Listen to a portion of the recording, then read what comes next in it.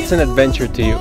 Every day is an adventure. It's just like in the movies, I suppose.